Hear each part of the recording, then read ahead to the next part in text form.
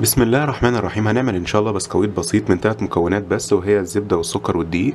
عندنا الأول كوباية وربع زبدة بدرجة حرارة المطبخ هنضربها حوالي دقيقة. بعد كده هنضيف نص كوباية سكر بودر وهنكمل ضرب بالمضرب الكهرباء لحد ما القوام يبقى معانا زي الكريمة. وبعد ما ضربنا الزبدة والسكر كويس حوالي خمس دقايق هنضيف عليهم كوبايتين إلا ربع دقيق. وهنقلب كويس. وبعد ما هنقلبها هتبقى العجينة مفرولة معانا خفيف بالشكل ده. بعد كده عندنا صاج مقاس 30 في 30 فرشين فيه ورق زبدة وهندهنه خفيف جدا بالزيت. بعد كده هنفرد العجينة في الصاج وهنضغط عليها كويس بإيدينا بحيث تملى الصاج وتاخد شكله. وهنسخن الفرن على درجة حرارة 180 وهندخلها على الرف الأوسط. وخلاص كده البسكويت استوى معانا وهياخد معانا في الفرن من 30 ل 35 دقيقة.